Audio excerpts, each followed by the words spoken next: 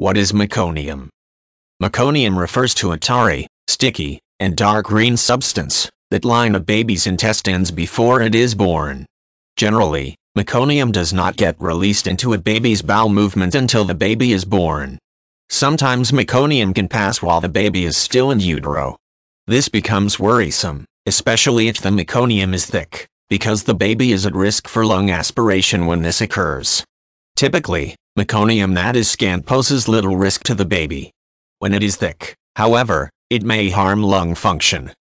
Typically, when meconium staining is evident, as occurs when normally clear amniotic fluid becomes either yellow or green, the mother is monitored carefully during labor.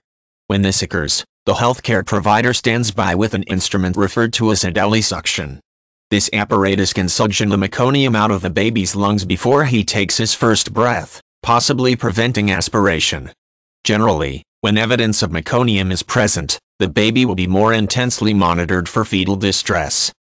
As the labor process progresses, an abnormal heart rate or respiration rate tells the healthcare professionals that the baby is in fetal distress. A cesarean section birth may be warranted.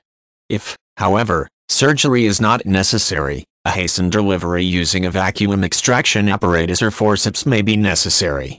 When meconium is aspirated or inhaled in the newborn's lungs, it is referred to as meconium aspiration. This condition can lead to infections such as pneumonia, and warrant a stay in the neonatal intensive care unit. Ordinarily, treatment for meconium aspiration, or chemical pneumonia requires treatment with antibiotics. In addition, the baby may need oxygen therapy to assist with breathing until he can breathe unassisted. Because these babies can become gravely ill very quickly, their conditions need to be carefully monitored.